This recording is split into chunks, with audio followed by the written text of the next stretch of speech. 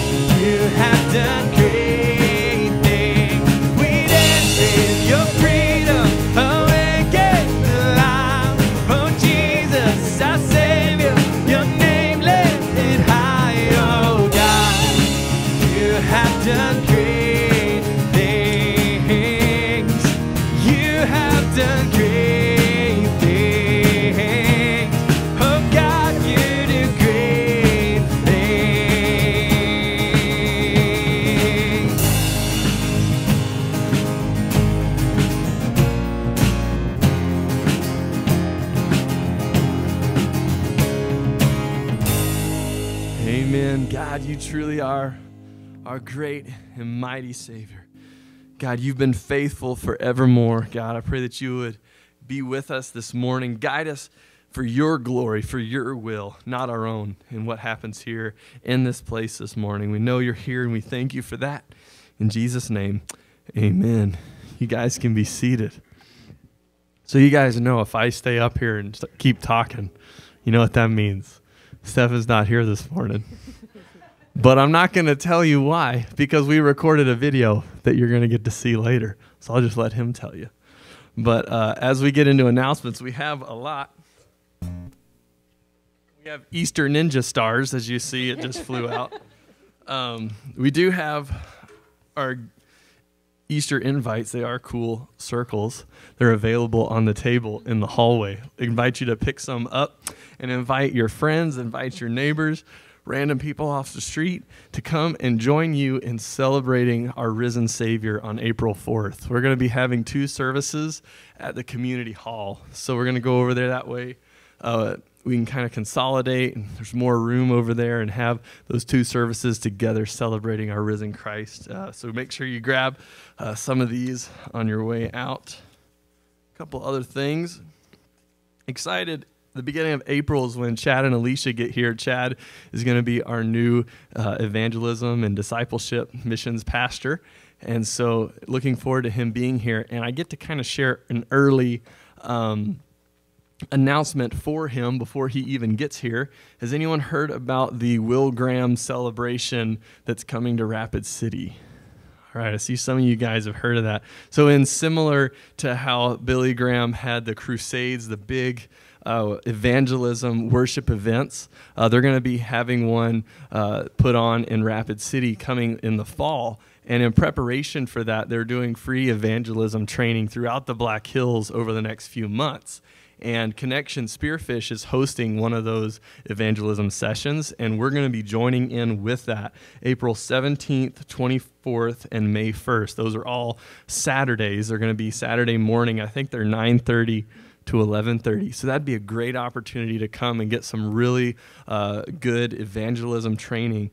Uh, and the idea for that, kind of the reason they're putting it on, is then inviting you to go and help with the event. But that's not like you're obligating to do that. It's it's just they're wanting to help our community grow in our uh, abilities as the, the, kind of the, the more practical sides of evangelism, right? It never uh, is a bad idea to prepare and to know those type of things. And so if you'd like to come, Chad's going to be leading that. We're going to be taking a church van. What a great opportunity to get to know him and and uh, do that ministry together.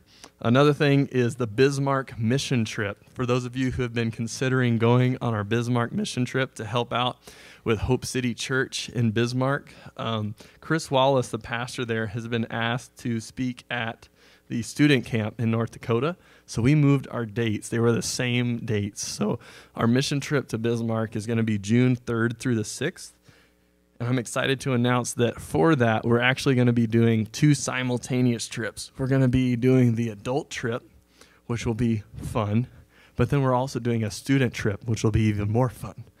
And so we're going to be going up there and just kind of you know the, the the things that we'll be doing will both be in the in the goal of helping hope city church reach bismarck for uh, the gospel and for his glory.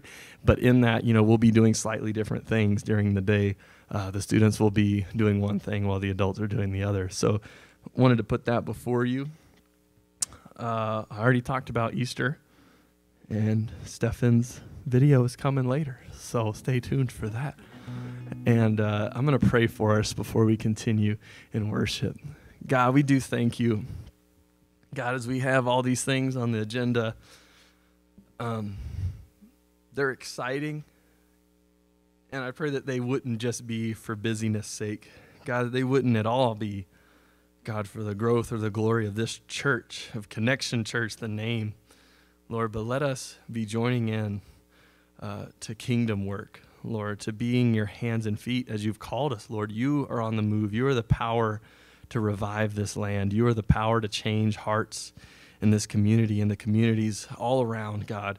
And so we just want to join in with that, to be the hands and feet, to have the privilege uh, to be used by you, God, in sharing the gospel of growing people in their love for you and their knowledge of you. So whether it be the mission trip, God, this this Graham um, uh, celebration event that's going to be happening in Rapid, God, whatever it may be, let us be seeking, God, to worship you and adore you in it, God, and to serve you faithfully, knowing that you are the power in it all. God, we are so dependent on you as we are going to sing. We need you desperately. I pray that you would guide us in Jesus' name. Amen. Let's stand together as we continue in that.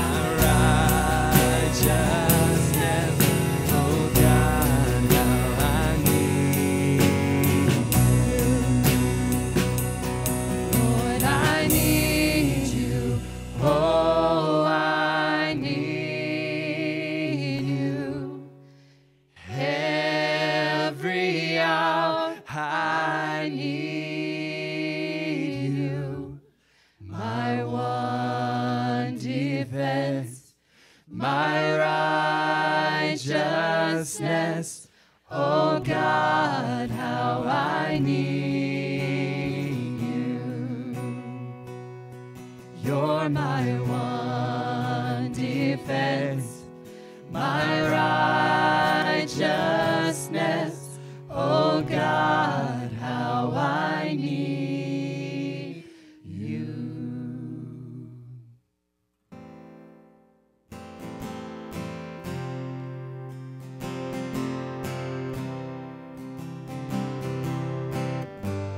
we've been singing this song of our dependence on God, how we need Him for our every breath in our lungs, give Him the glory for the life that we have. We sing this song about the exodus of God leading the Israelites through the wilderness, providing for them. We think of the manna, the food, provision, the, the fiery, cloudy pillar that guided them on the way all the while leading them to the promise God had given them. The times were difficult and at times they doubted, but God never left to forsake them. As we sing this, let's think of His provision, His guidance in our own life.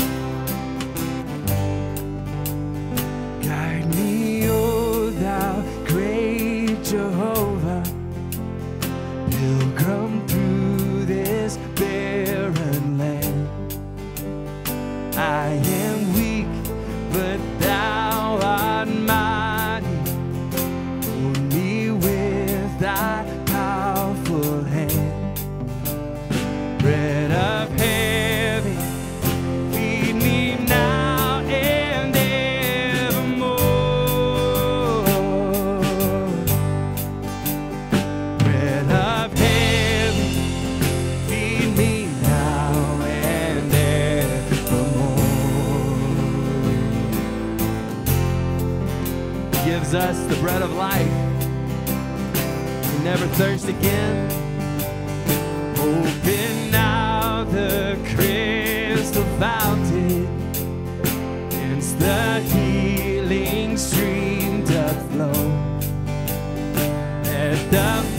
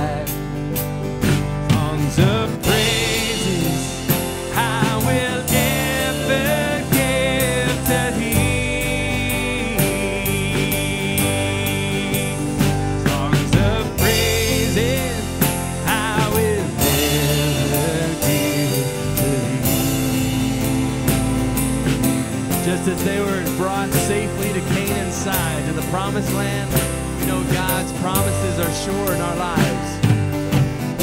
Give Him our anxious fears this morning and trust in Him.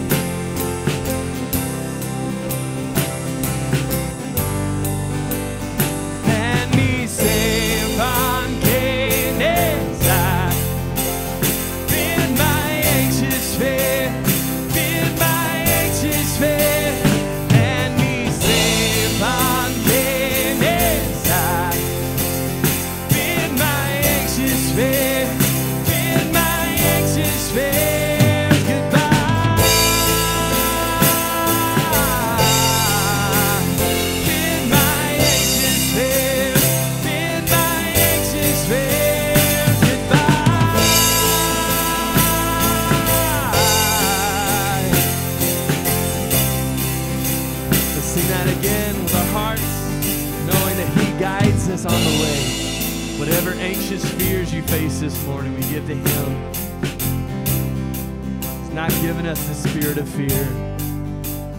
Land me safe on Canaan's side.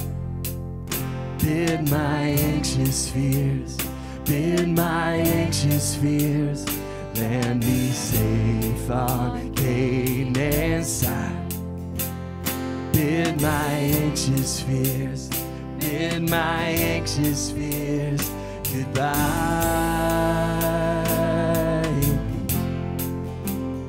Bid my anxious fears, bid my anxious fears goodbye.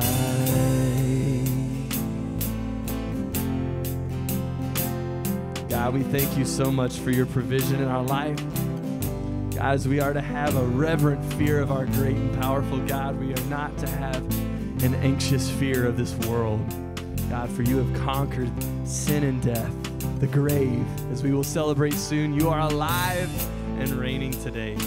We thank you for that, God. We pray that you would guide us now in your word. In Jesus' name, amen.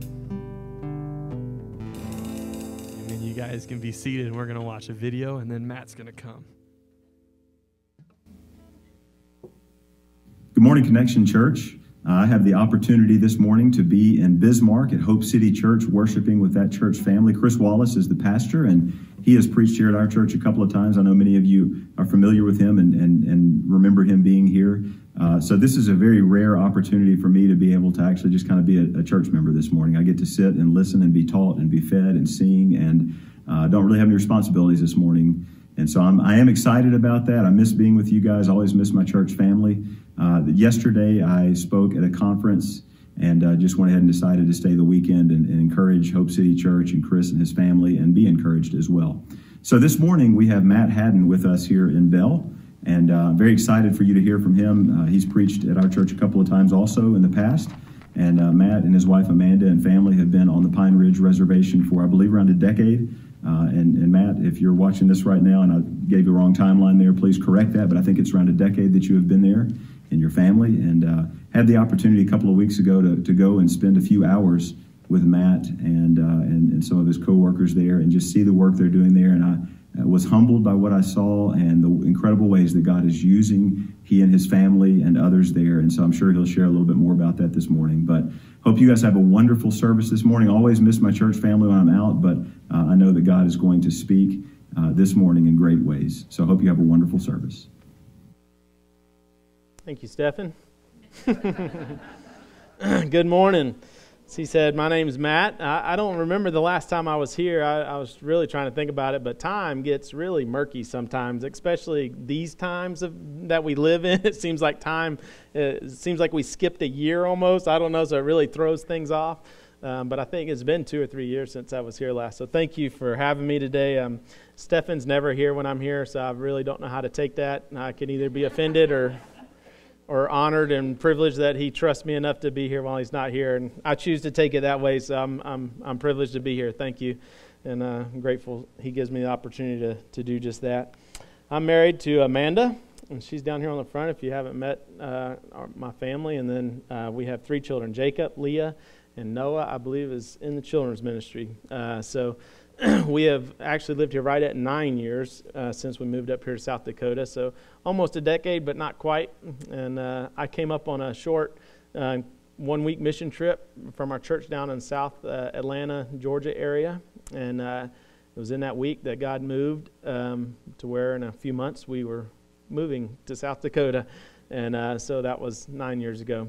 Our original calling, I guess, of God moving us up here was just to really whatever. We didn't know what we were getting into. We didn't we didn't have any specific, you know, idea. It was just come alongside the church that was existing there and the pastor there and serving alongside of him, and to help start a kids camp. Um, and so this will be the tenth anniversary at the Chanku Waste Ranch, um, where uh, my wife Amanda and I have a key role in just um, uh, developing that and making sure it goes and happens. But uh, when we first came along, that was just getting started, and um, and so we've seen God just bless uh, the ministry over and over and over again through the years of just kind of setting a vision out there of a, a way to. Um, to love and to care and, and just to pursue the younger generation of the Lakota people. And so we send buses out in a 30 mile radius. Um, it's a day camp, so on Monday through Friday, and we bring them to the camp and basically do a glorified uh, VBS. Uh, it's a VBS, but it's, we have uh, 150 acres with a lot of different activities there, so it's more than most churches can do uh, in their church property. So we have everything from uh, water day, where we have water slide and water games and things like that, um, to basketball courts and things like that. So it's, it's a much it's better than just a regular VBS, but it's still the same theme of, of giving uh, just Bible school training, Bible lessons, and we try to connect those with the Lakota values. So each week is a different theme, um, and we just uh, kind of grow and expand those every year. And so God's given us vision for that and, and has allowed it to happen. And so it's been exciting to see that uh, take place. Um, and we were serving alongside the church. And um, I guess about five years ago, the Lord gave the opportunity for me to begin to pastor that church at Sharps Corner.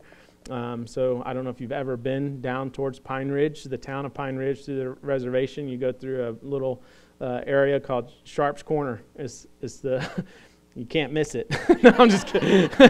it's a gas station and a church. That's our church. Uh, so if you're heading down 27 towards Pine Ridge, you go right through there. It's not the geographical center of the reservation, uh, but many people call Sharps Corner the center because it's basically where you have to kind of go through it to get to Rapid or anywhere else. So folks from Kyle, I mean from the east and west and all, that, that's just kind of a hub, and so they kind of call it the, the center of the res, but um, geographically it's not. Reservation is a good size, and it takes a little while to, to get around, and so there's sometimes there's people in reservation. Do you know so and so? Like, eh, it is a small town atmosphere, and most people know at least the last name or somebody in that family, no doubt. Um, but it is a it is a good sized area, and I don't make it to the town of Pine Ridge very, very often. There's some great ministries and churches around that area. Um, but we're on the very north end of the reservation. And so the, the camp is actually one of the first things you see after you come onto the reservation. So um, it's about 17 miles into the reservation. You'll, you'll see Day Ranch sign on the, on the right there. And uh, that, so that's where we live and that's where we have camp. And God's blessed us to be able to do other programs such as welding and um, mechanic classes and even just working with however the Lord sees fit. We're willing and open and desiring to do whatever, however the Lord opens. And so uh, we found ourselves doing all kinds of different things, you know, of just trying to meet, meet needs wherever possible. Um, Pre COVID, um, was, uh, you know, everything was just rolling really well, and you got all these plans, uh, you know, what you're going to do, and uh, that that for us specifically on the reservation took a, a definite definite different look, you know. Um, everything came to a stop as it did everywhere. Um, it's taken longer for us to kind of get back rolling again, um, just trying to be respectful of the tribe's wishes and, and the people around us, and so being protective of, of uh, we live amongst a very vulnerable people and um, and so it, it just trying to find that balance. And so um, we've been able to have services on Sunday mornings since last July. So I'm thankful for that. We were able to start back fairly quickly, considering uh, some places, but all our children's ministries, um, any other outside ministries beforehand, we were doing uh, jail ministry.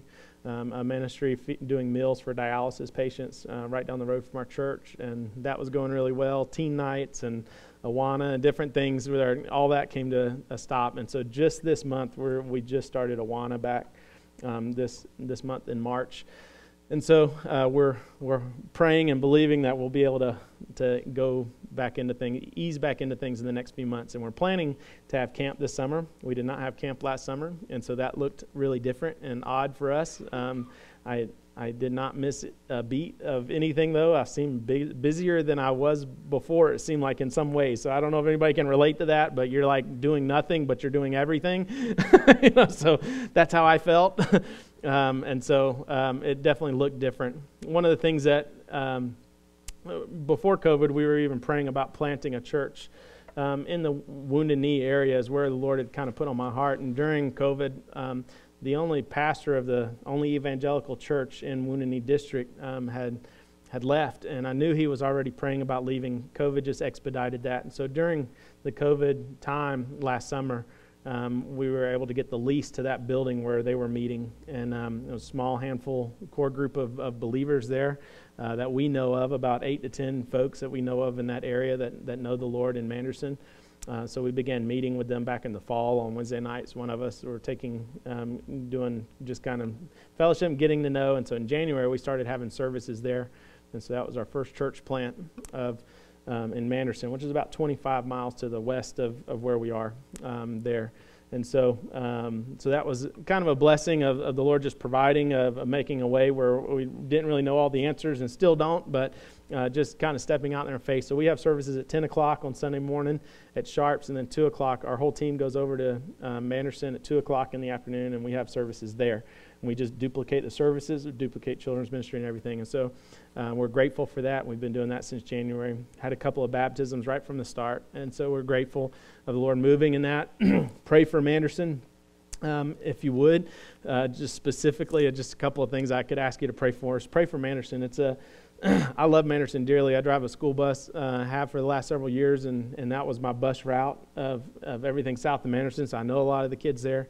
I believe God wants to do a great work there, and, and there's a there's a big lacking of, of ministry involvement there. And so this is uh, this is really not just a new work, but it's in an area that that really needs it and is um, just a great ground to be worked. And, uh, and so uh, we're excited about it. So pray for specifically for the community of Manderson, if you would.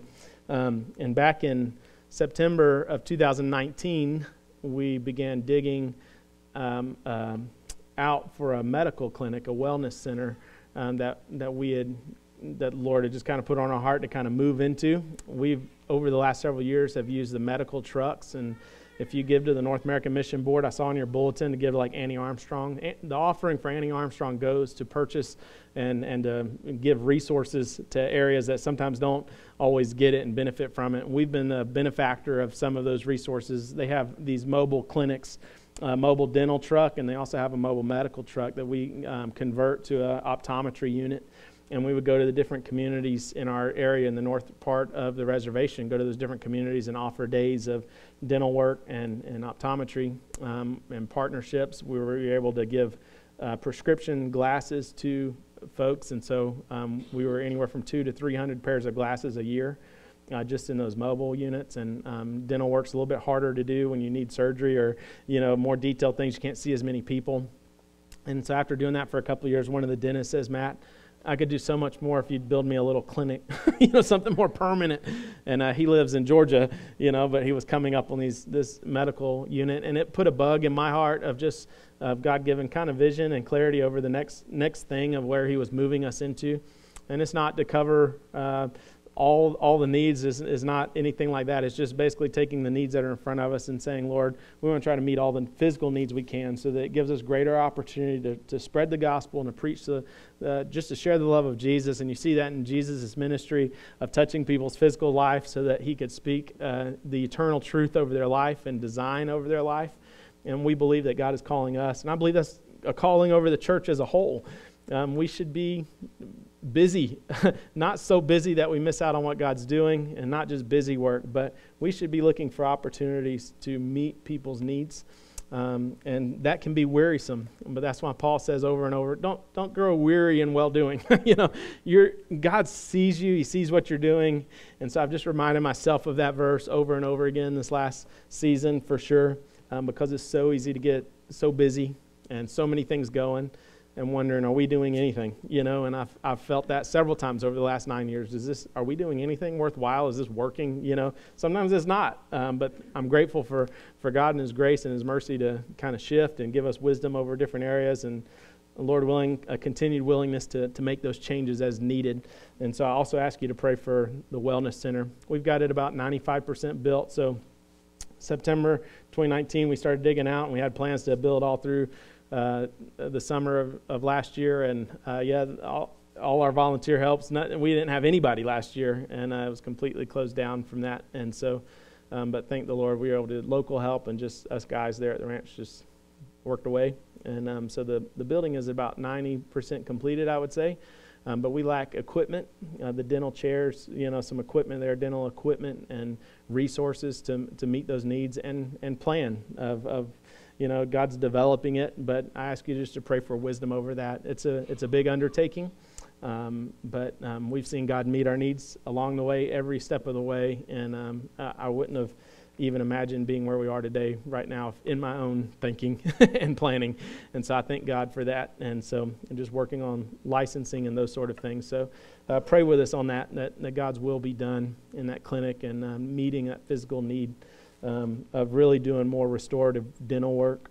Uh, we also have an optometry room in there just to have more of a consistency through the year of meeting the physical needs around us as God sees fit. And so I ask you to pray um, pray for those two things specifically if I could. Um, I always like to uh, just to pass along what God's doing and engage you in knowing how you can pray for us. I want to thank you for just um, this church supports us financially, and I know sometimes I've been at churches and they didn't know, but you, you, this church supports us financially, and so thank you. Um, for just your generosity of giving and supporting us and praying for us and engaging with us in that way. And so we, um, we are very grateful, and it would be much harder without without the support of others. Um, I believe God has uh, amazing ways that we can never imagine. Um, he has chosen to use His people, and so I'm I'm grateful for that, and um, it far exceeds anything I could ever imagine. So thank you, um, just from our church and from our ministry for for your support of of what God has allowed us to do. So Stefan wanted me to give an update about ministry and talk about that for a little while. And then he wanted me to preach. And then he said I had 30 minutes. And I got in trouble the first service, so I'm going to try to be good the second service. I told Ashton I'm going to be my best behavior. I don't Ashton's not even in here, I don't think so. If y'all don't tell him, I won't. he said they were going to mute my mic, and uh, he was going to come up and start playing if I didn't end quicker. so I'm going to do my best a, few weeks ago, I started a series at our church called Holy Week. And the idea behind it was I, I, believe the Lord was just putting on my heart, even last year, praying through kind of sermons and, and things for this year for our church, um, for my home church there in Sharps Corner. Um, and it got to Easter, and when you're looking at the calendar, I don't know most pastors, I know for me, when you look at the calendar, there's certain Sundays you just pick out, they're just a given. Easter Sunday's one of those, you know. Uh, the Sunday before Christmas or Christmas right around there, you know, it's kind of a given, like what you're going to preach about, you know. Um, but I didn't want to fall victim this year of just blowing through Easter. And so I feel like, you know, sometimes we take Easter and Palm Sunday and then we just kind of work all around it and feel all around it, and then uh, it's the most pivotal part of my belief and my faith in Jesus is that He's alive today. I hope it's the same for you. If it's not that reality, uh, you got nothing. We got nothing as a church. If Jesus is not alive today, if He's not sitting on the throne, we got absolutely nothing. And so it is, to me, out of all of the doctrines and theology, I could, you know, spend days trying to figure out what is more important. They're all important.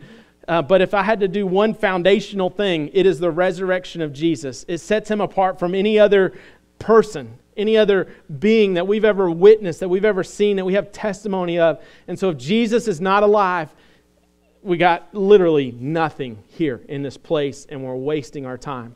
Um, and so when we come to Easter, it's so easy sometimes, though, just to preach a Palm Sunday, preach Resurrection Sunday, and, and blow through it and, and really not carry the weight of the realization that Jesus is alive and he's well. And John says in 1 John, he says, How will people know? How will people hear that he is alive unless we, as the children of God, testify that he is alive today?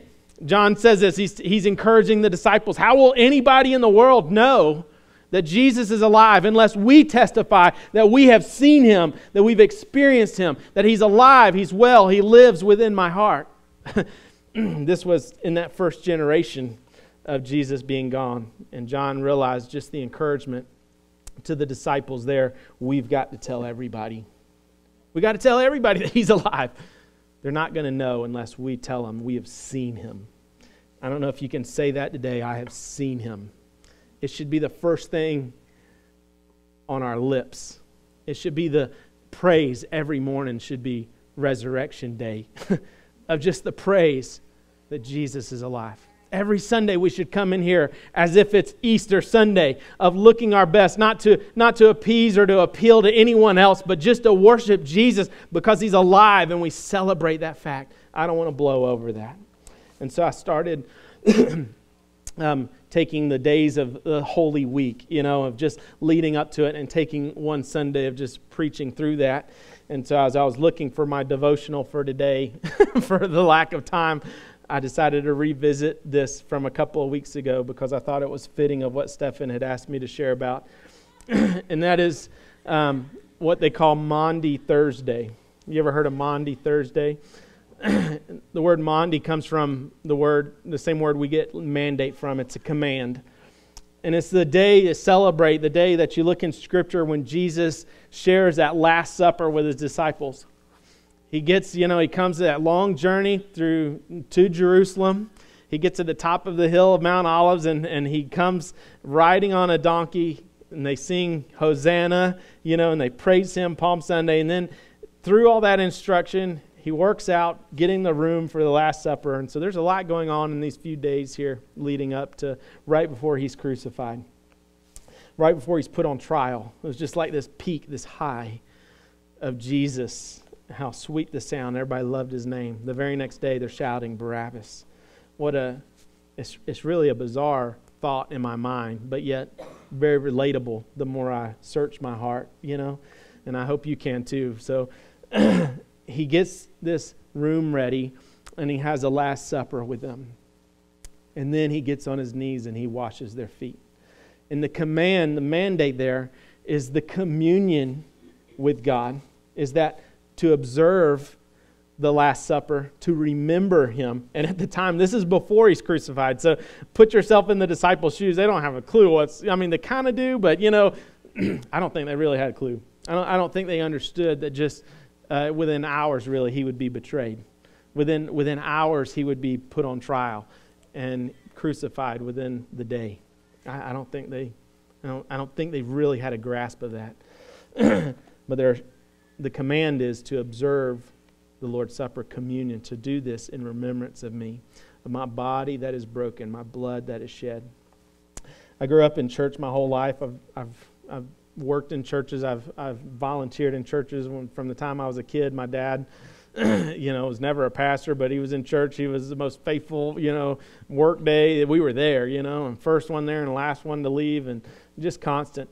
Um, and some of the churches I grew up in, it would, it would seem like, and I could be wrong with this when you're a kid, you don't really remember, but I don't remember observing communion that often. You know, it seemed like months in between, once a quarter maybe, you know, and looking back on that, and I thought, why? You know, like, why?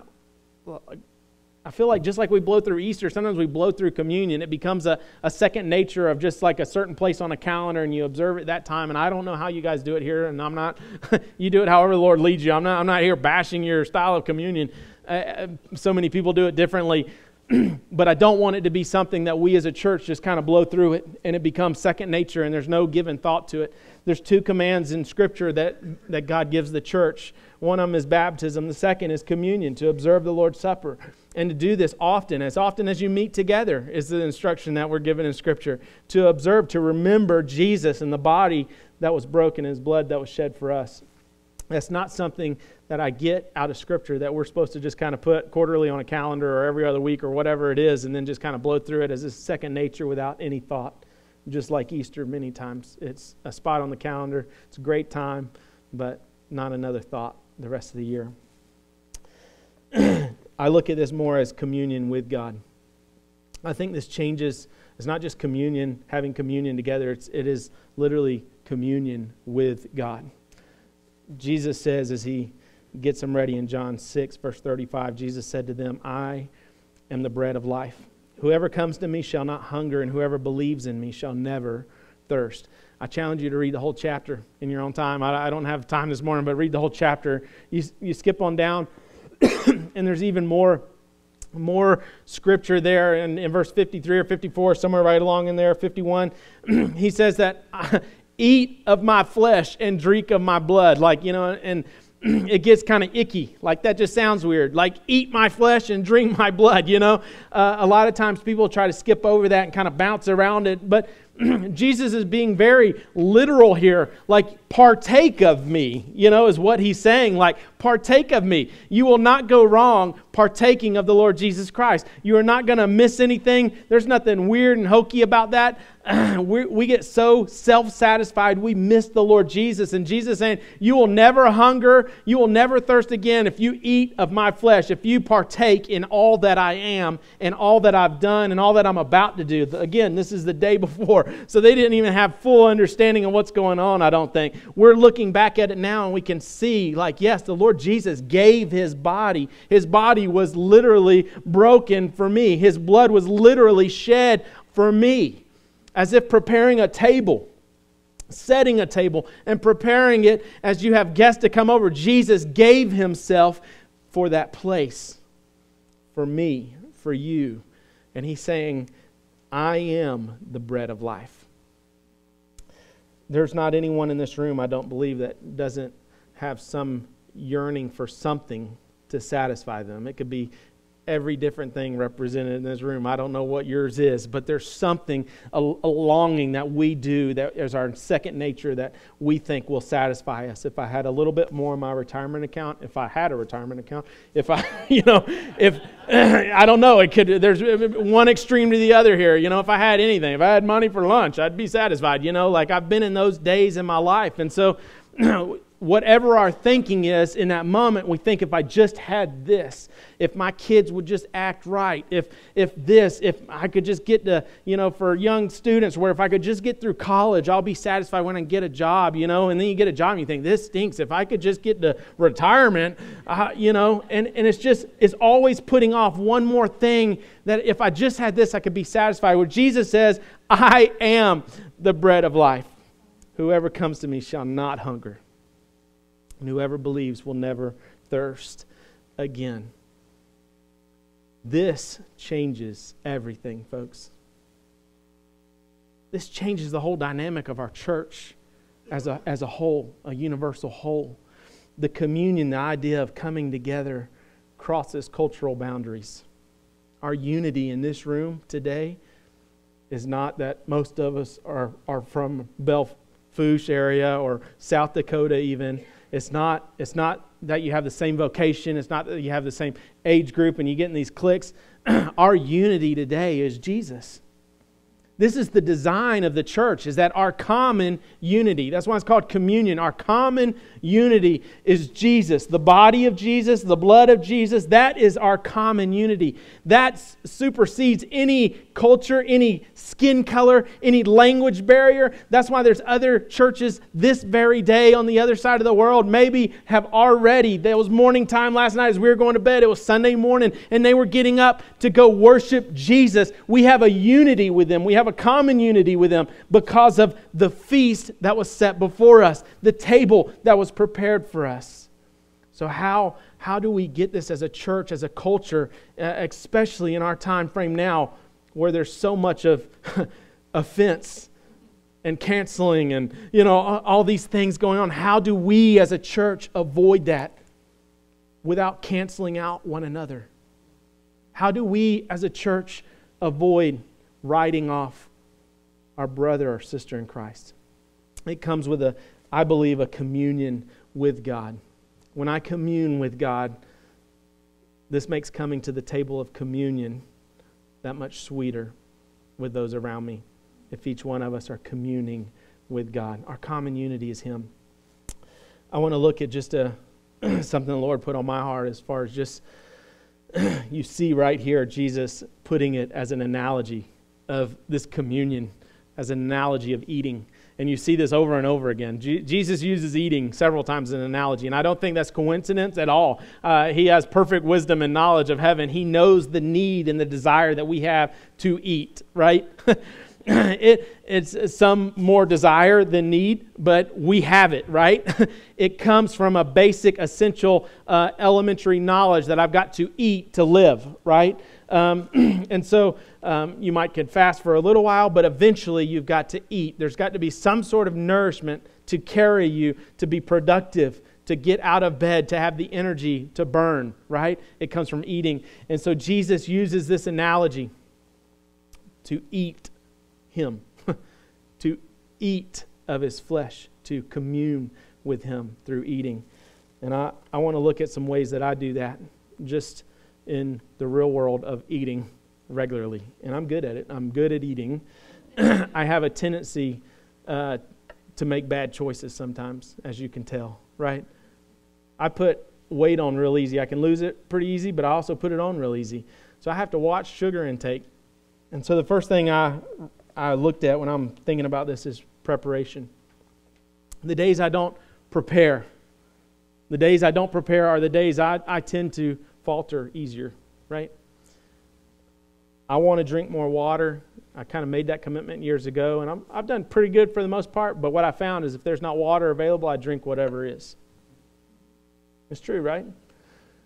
so making the decision to carry a water bottle into a restaurant or whatever, just so I'm not tempted, because I don't like tap water. That's like I'm the diva, is what my wife says. I can have tap water at home, but I don't like tap water out of a restaurant. I've done construction a lot of years. I've worked behind the scenes, and I don't I don't drink that water. I'll go drink water off the street before I drink out of a restaurant. Sorry, that's mine. I'll drink Coke and put that acid in me. so if there's not water readily available, I'll drink whatever is. Right? Many times as believers, we don't prepare to feast on the Lord Jesus, therefore we don't. If you're not preparing, if you're not preparing to meet the Lord Jesus, if you're not preparing to take in the Lord Jesus, if you're not making that preparation, you're going to take whatever's readily available. The moment you begin hurting, the moment you begin getting stressed or depressed or anxious or, or fearful or just desiring something you shouldn't, you're going to take whatever is available. So if the Word of God, if Jesus, if the fellowship of Jesus and the fellowship of the church is not readily available, you're going to take whatever is. And so I want to challenge you to prepare first. Prepare. Early, I rise in the morning to seek the Lord. It comes with a setting a table of preparation, of preparing my heart to commune with God today. The days we don't, the days I don't, you'll take whatever's readily available. Second thing is, we got to eat it one of the things I noticed is I can do really good at preparing sometimes. And I had a certain breakfast menu and all. I'm going to start the day eating healthy. And I go to the grocery store, and you get all the groceries and you put it in there, and then all of a sudden, somebody brought leftover pizza and it's on the shelf. Skip the good stuff, eat the pizza. you know? You get what I'm saying? At that point, it does no good to prepare if you're going to eat the junk. So not only do I need to prepare the feast on the Lord Jesus, I've actually got to partake. I've got to eat. I've got to eat what's right. so many times, especially being a church church boy that I am, uh, you know, you can do all the preparation, have all the checklist of going to small groups or whatever, you know, and doing everything and so involved in everything. But then that moment you're alone, the moment when there's not that much accountability, and you have the choice to eat what has been prepared Eat what has been set before you and, and uh, in accountable ways of, of the praying. Eat what you are praying for. You know, eat what is nurturing your spirit or eat of the flesh. The preparation does no good if you're not going to eat it. if you're not going to lean into his promises, if you're not going to give in to the Spirit of God, rather than giving into your flesh. You can do all the preparation in the world and still find yourself as a child of God struggling and not having communion with God. and you think, how am I not? I'm doing all these things. I'm going to three services on a Sunday. You know, I'm here all the time. But the bottom line is you come down on a Tuesday or a Wednesday and, and it's not readily available, maybe, or maybe it is, but there's some other option there, and there's nothing there to, to, to keep you in check of whether you're going to eat the pizza or eat what's good for you. And so we give into the fears, we give into to ourself and the flesh, and we don't eat with God. So not only do we need to prepare, we've got to eat and partake what has been prepared.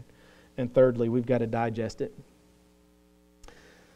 a few weeks ago, I picked up a couple of baby calves, bum calves off a neighbor friend of mine. And um, we've raised a few in the past. I'm not a rancher by any means, and some of you in this room, I'm sure, can give me some advice or tell me what I, what to do differently. But um, one of them, as uh, mom had died during the calving process, and the other one, the mom rejected.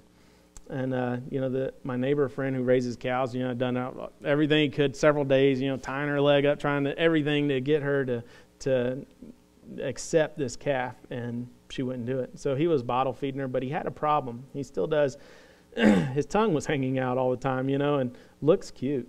It looks real cute. it is adorable, you know. I mean, he's a cute little guy, but uh, he's that's why she wouldn't accept him, I think, is because he couldn't latch on very good, you know, and just probably uncomfortable because I noticed when we bottle feed him, he's getting fluid, he's getting that the milk down in his windpipe, he's getting in his lungs, and so battling what we thought was pneumonia, you can hear it just rasping, gurgling, and all, and then he got to where he just wouldn't eat. He would start gagging and coughing. Um, he just couldn't eat the milk, so he just quit eating. And so the other night, I thought he wasn't going to make it through the night, and he just laid down. He wasn't moving. You know, just you could see every bone in his body, not healthy at all. The other calf, about the same age as him, she's looking good, putting weight on, and got good hairy coat, you know, shiny, and she's healthy, and you can tell, you can see the difference. She's bouncing around. He's just laying there, and it's, it's sad.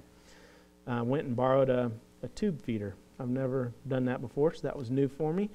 and uh, got him some nutrients. The rancher, a friend of mine, said, just be careful. You know, if he hasn't been eating a whole lot, you might give him a little bit. you know, why? Because his stomach might not could handle it.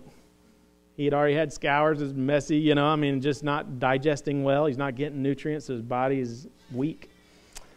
I was thinking so much how we do this in our spirit the moment we start getting something from the Word of God, it doesn't set well. And so we just give up on the plan. Well, I don't like that. That didn't feel too good. I got a headache when I didn't drink Cokes, you know, so I gave, I gave in and just drank another Coke. you realize we do that in, in our spirit so much when the Word of God just doesn't set very comfortably. We're not used to it. So I want to challenge you. Don't just prepare it, eat it, but allow the Word of God to just digest in your system. As part of the growth process, as part of us as believers growing and maturing in the Lord Jesus. Would you stand with me?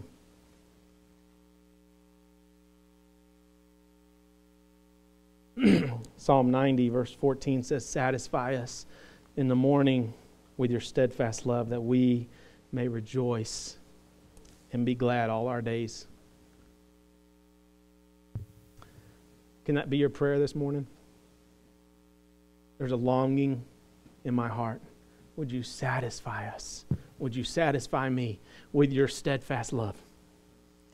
With the riches of your grace, with the riches of your mercy, with your promises, with your favor, would you satisfy me that I can rejoice and be glad all my days? We live in a time where things are just thrown out, words are cheap. Things are cheap. Commitment is cheap. Everything's cheap. It leads to just more longing, more void, more lack.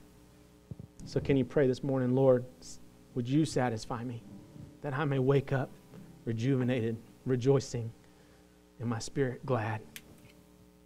Father, I love you. I thank you so much for this morning, Lord. I thank you for this church. I thank you for the leadership of this church. I just pray for wisdom and blessing over, over every decision that's made. over this body of believers here, Lord. Lord, I pray that you would begin with me to feel a longing in my heart to look like you, to be healthy, to reflect your image. Lord, that I would run to you first. No matter what the world has to offer, Lord, that I would choose you over everything. Lord, help me to process that. Help each one of us in this room to process that, process your word in our life. We give you all the glory in Jesus' name. Amen.